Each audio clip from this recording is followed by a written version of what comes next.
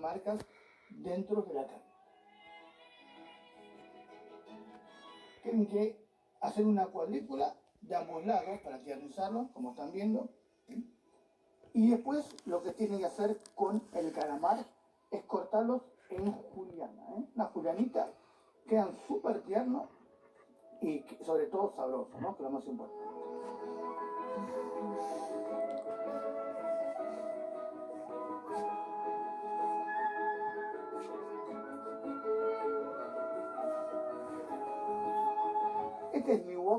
Hace 40 años, ven, mi mango tiene, pero cocina increíble. Y este es un wok que tengo actualmente hace unos 6 años. ¿eh? Y usar esto, este wok es perfecto. Es el wok diseñado, pensado para alguien que realmente sabe cocinar. Ya está calentando el wok, ven cuando está humeando. Cuando humee, en ese punto pone el aceite. Aclaro, cuando empieza a humear, muévanse rápido porque después de humear eh, viene que se quemen las cosas. Entonces, acá es donde si alguno se distrae, después sabe todo horrible. la comida salteada, tostada, pero no quemada. Vamos a cocinar esto en los tiempos de cocción de cada uno. Lo que más cuesta cocinar en tiempo son las vieiras. Las voy a poner primero. Se cocinan como mucho en un minuto según el tamaño los camarones igual se cocinan rápido, en unos 30 segundos. Importantísimo, no se pasen de cocción. Y después, el calamar, ¿eh? es el más difícil de todo. Se cocina más o menos en unos 15 a 20 segundos. Entonces, la idea es muy simple, hay que calcular y al final lograr que todos, todos tengan el mismo punto. Lo retiramos, lo ponemos en un plato con papel todo lo que está acá adentro se llama fondo de cocción. Todo lo que está adentro es sabor, así que no lo tiren. Volvemos a calentar, con té caliente y empezamos con las verduras. ¿Está humeando? Materia, grasa, la mínima cantidad. Bueno, vamos, de vuelta, ya saben, de lo más duro a lo más tierno, las chauchas y las zanahorias tienen el mismo punto de cocción y siempre con movimiento, ¿eh? circular ¿eh? y Miren cómo se, cómo se mueve este wok. Es perfecto la curvatura.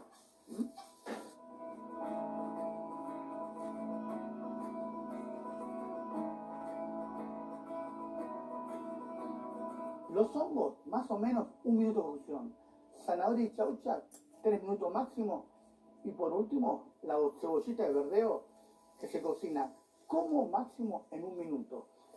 Ahí estamos le damos a perita una salteadita, despacito, ahí nomás le agregamos arroz blanco cocido. Esto es el típico arroz japonés llamado gohan, que se usa el mismo grano de sushi.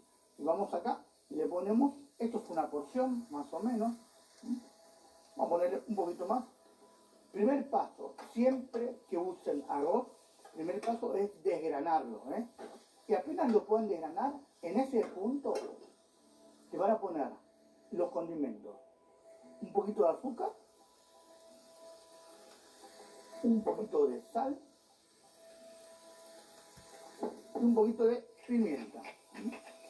La pimienta que les guste. Y van a ir viendo que de poco, de a poco se va desgranando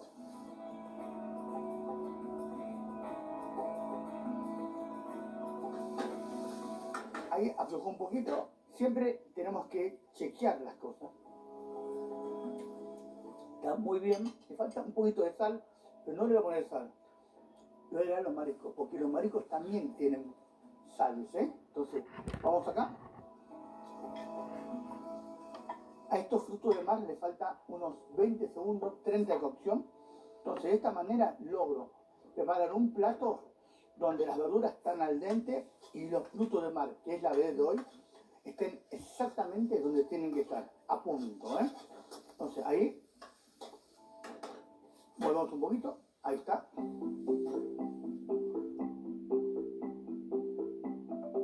Miren lo que es esto. Todos estos frutos de mar. Este es uno de los platos más ricos. Si les gustan los frutos de mar, este es el wok que tienen que preparar. Les voy a presentar el plato ahí. Wok de fruto de mar.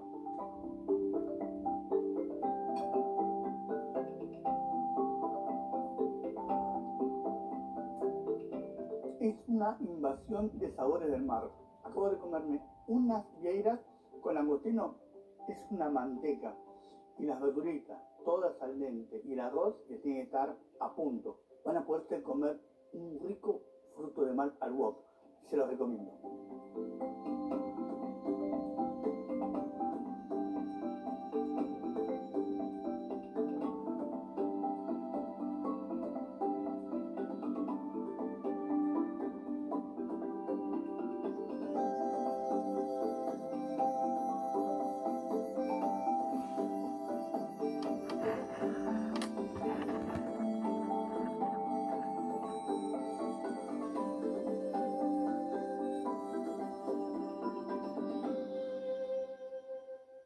Calamar es una de las estrellas del fruto de mar. Y básicamente hoy les voy a preparar un calamar relleno, o ika relleno en japonés, que vamos a ponerle tofu, espárragos, langostinos y simplemente vamos a hacer una rica salsa picante en el caso de hoy. ¿eh? Pero también si no les gusta lo picante lo pueden hacer mucho más suave. Primer paso, vamos a preparar el tofu. Cuando compren tofu, compren el tofu medio, ese tofu medio lo agarras, lo desmenuzas todo y queda de esta manera, que es el ideal para rellenar. ¿eh? Le vamos a poner al tofu un poquito de sal y clara de huevo. ¿eh? La clara de huevo es para unir todo. Voy a poner esto acá así. Sal fina, un poquito, no mucho. Y acá tengo la clara de huevo, que les expliqué un ratito. La cara es el elemento que va a unir todo. Pero importante esto, dejarlo bien, bien homogéneo, ¿eh? porque si no después cuando los rellenás y no están bien unificados, y cuando se corta se tiende a desarmar. Voy a agarrar unos espárragos, los voy a cortar de la misma medida, más o menos de la misma medida, y le van a dejar 2 centímetros para poder cerrarlo después. Justo al medio me va a dar, perfecto. Entonces, toman el calamar de esta manera y van a colocar un par de espárragos de esta manera, langostinos ¿eh? limpios, de venados y pelados acá adentro. En este caso pongan la cola para abajo y la cabeza para arriba. Esto para que quede, hacer más fino abajo, lo tendemos a armar mejor. Y después el tofu. Esta parte con mucha paciencia vayan presionando.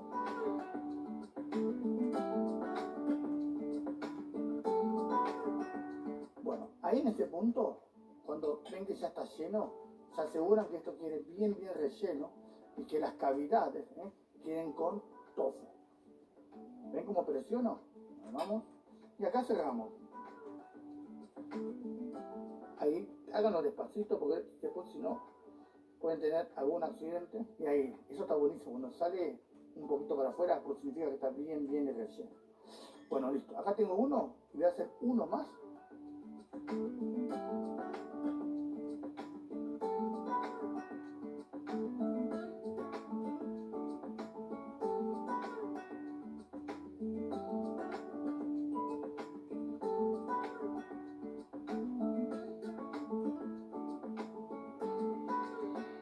Mientras se cocinan los calamares, 15 minutos más o menos como máximo, vamos a hacer la salsa. Una pequeña sartén, un poquitito de aceite. Y acá hay que usar poco fuego, ¿eh? porque se quema todo muy fácil.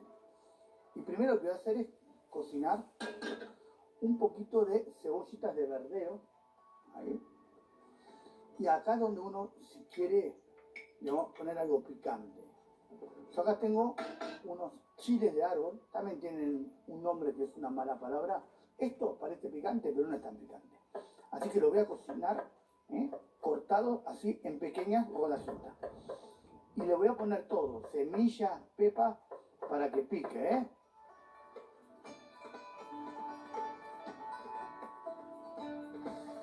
Me encanta el color ¿eh? del chile de árbol. A esto le vamos a agregar un poquito de ajo y jengibre.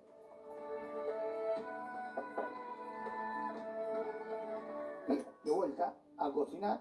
Voy a bajarlo un poquitito el fuego, esto está un poco fuerte.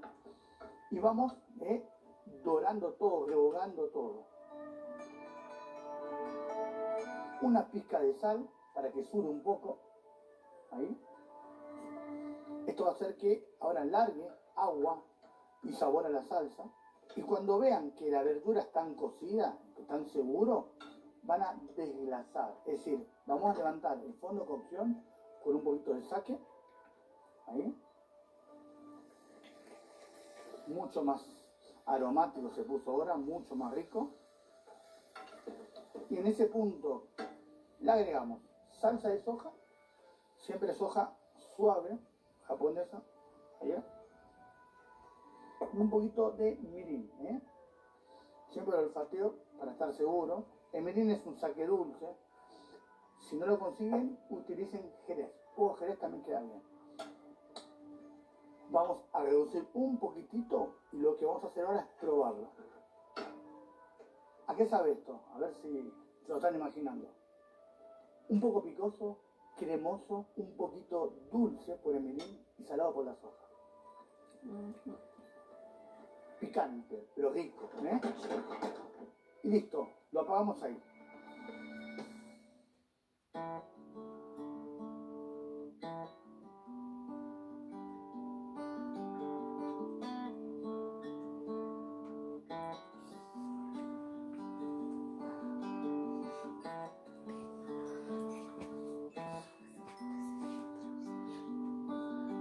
Y por último, la salsa, una vez fría, la van a presentar o en una salterita, como suele hacer, o simplemente también por arriba, queda muy bien.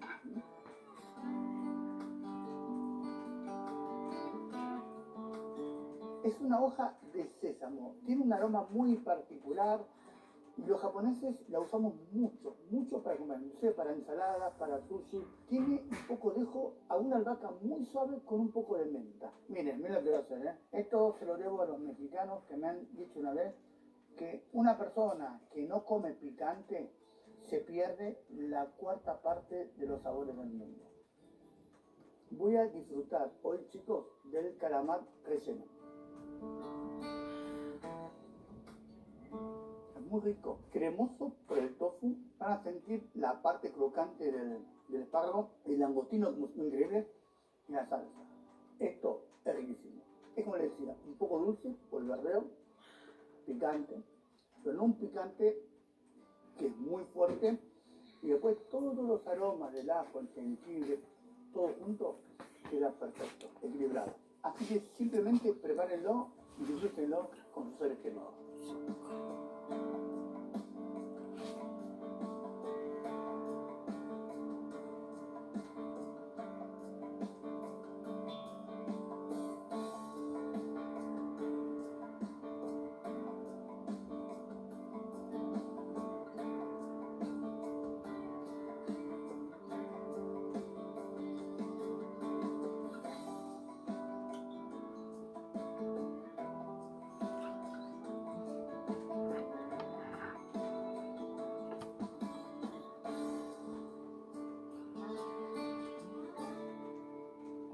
El calamar es un producto súper versátil, se puede preparar de mil formas diferentes. Y ahora les voy a enseñar cómo los japoneses disfrutan el calamar a la parrilla, el calamar en una, plancha. Primero les voy a enseñar la marinada. Tienen que primero rallar jengibre. Esto es un típico rallador de jengibre. Y a diferencia de otros ralladores, esto se raya en círculo. Miren cómo hago. Ahí y es un poco duro, así que cuando hagan esto, tengan los dedos bien firmes y cuidado, ¿no? Siempre mucho cuidado. Esto hace puré, ¿eh? No saca hilo, sino puré de jengibre. Y ahí estamos, miren, ahí está. A esto le vamos a agregar salsa de soja o soya, ajo, ajo rallado, mirin, saque. Le vamos a poner del verdeo, todo, ¿eh? la parte blanca y la parte verde. Y lo picamos como dicen en, en una cocina, en chiffonat, lo más fino que pueden, de esta manera. ¿Vieron qué fácil es? Vamos acá. Y tenemos la marinada.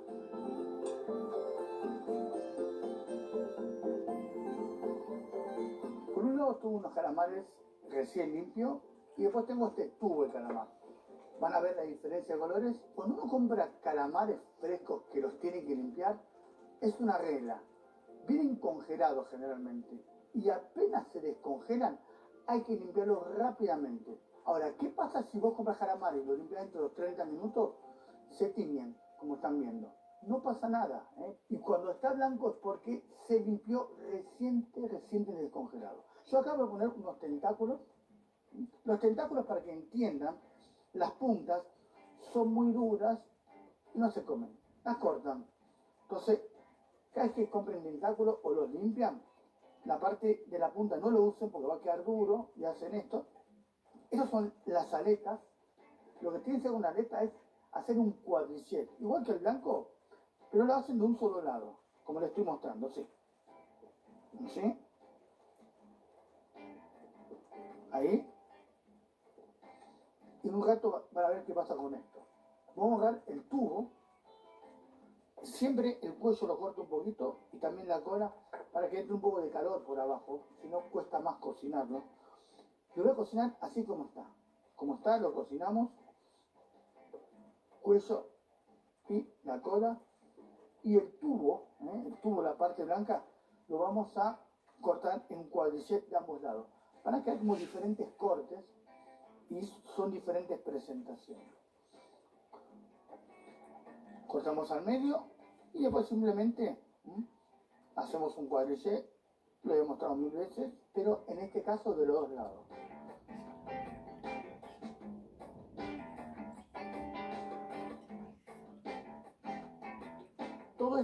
Como están, lo van a dejar marinando. En una hora esto va a tener un sabor increíble. Y recién lo cocinan. Heladera, sí o sí heladera, porque esto es súper delicado.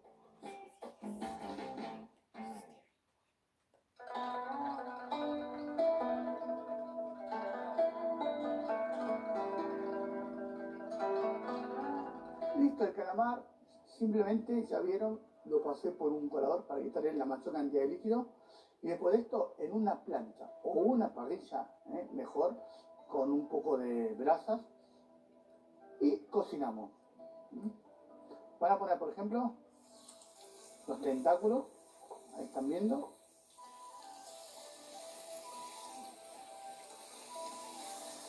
El tubo.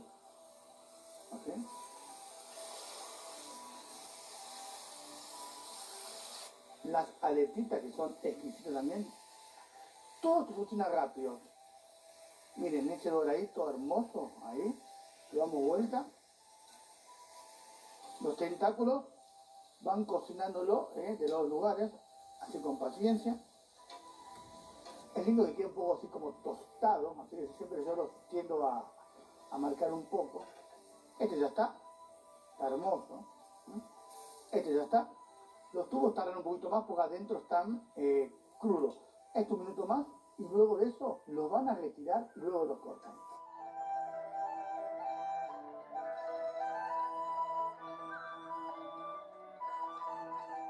Miren lo hermoso que es esto. Esto es exquisito. Yo sé que no es muy común comer calamar a la parrilla, pero esto es una fiesta. Es sabroso, rico y tierno, muy tierno. Así que ya saben, receta para cocinar calamar, que es uno de los grandes productos de, del mar. ¿eh? Voy a empezar con, los, con el tubo. Si se enroscan, lo dejan enroscado, así como están. Y van presentándolo a medida que los cortan. Siempre piensen que todo lo que cortamos es para comer con palitos, entonces que tienen que tener piezas chicas, piezas que de un solo bocado se pueda comer.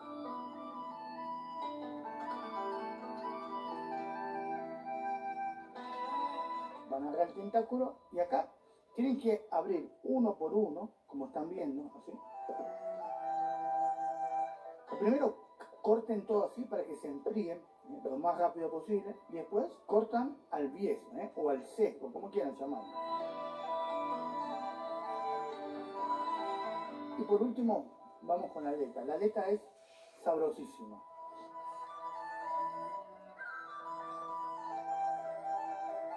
A algunos les gusta poner un poco de limón, se lo pongo acá así. Hay japoneses que les gusta ponerle un poco de caviar, de salmón. Y por último, a gusto de cada uno, un poquito de semilla de sésamo. Esto es muy japonés. Y acá tienen calamares a la parrilla. Así que ahora voy a disfrutarlo, ¿eh? lo voy a probar.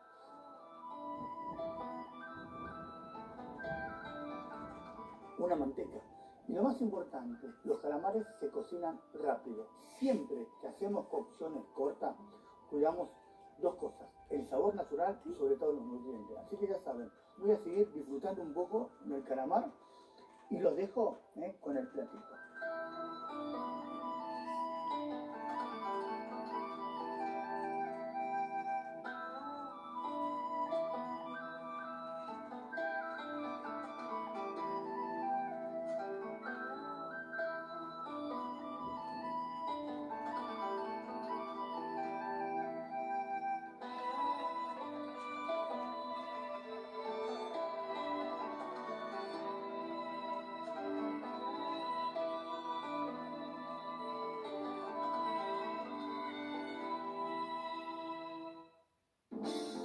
Las recetas de fruto de mar de la cocina japonesa. Hoy preparamos wok de fruto de mar,